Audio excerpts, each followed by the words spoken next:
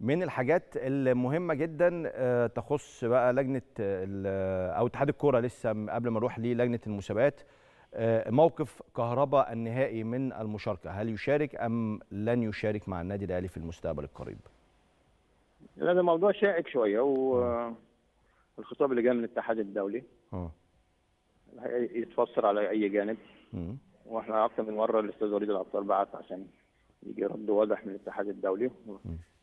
فكل الردود اللي بتيجي من الاتحاد الدولي بنبعتها على طول لل... للنادي الأهلي يعني.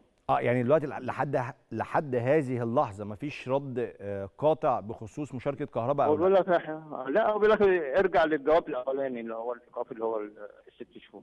آه.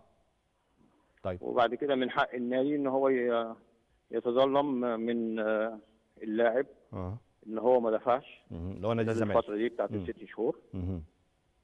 والمفروض إن هو يرجع على النادي بعد ثلاث فترات قيد اللي هو النادي. اللي خارج يعني مم. اللي كان فيه الكابتن كهربا. ده ده ال- الخطاب اللي جاي يعني. آه يعني معلش يا كابتن عامر وسامحني في في الأسئلة المتكررة يعني الاهلي دلوقتي لو حب يشارك كهربا في المباريات القادمة ليه له الحق ولا ملوش الحق أنا بقول- لحضرتك آه. أنا لو كلمني في المسابقه هرد عليك على طول. آه ماشي. أنا بقول لك على الخطاب اللي جاي آه. تفسيره كده. آه. في من مره مم. الوليد العطار يبعت.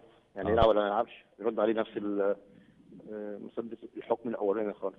آه. اللي بقوله لحضرتك ده. آه. طيب.